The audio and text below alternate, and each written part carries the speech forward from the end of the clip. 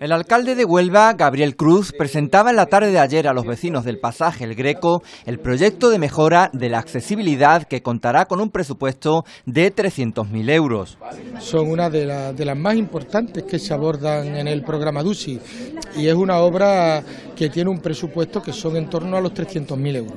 A ver, porque, eh, pero es una obra que tiene por objeto mejorar sensiblemente, muy sensiblemente, pues la calidad y las condiciones de vida del pasaje. Las obras arrancarán este mes y contarán con un plazo de ejecución aproximado de seis meses y servirán para la eliminación de las barreras arquitectónicas que impiden a los vecinos acceder a sus hogares, beneficiándose el conjunto de la barriada. 260 familias, en la media se establecen unas tres personas por familia, pues estamos hablando pues 480 personas, unas 500 personas aproximadamente. Los vecinos del pasaje El Greco llevaban tiempo pidiendo una mejora en la accesibilidad de su barriada y con esta actuación del ayuntamiento, gracias al programa EDUCI, por fin la van a tener. Eh, esta es una obra muy ansiada desde hace ya muchos años, pero muchos años porque lógicamente nosotros llevamos viviendo aquí 45 años, al principio no nos dábamos cuenta, pero nos hemos hecho ya mayores y es necesaria esta obra.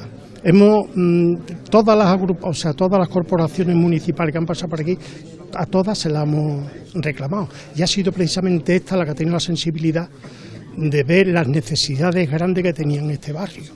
Es de agradecerlo, por supuesto.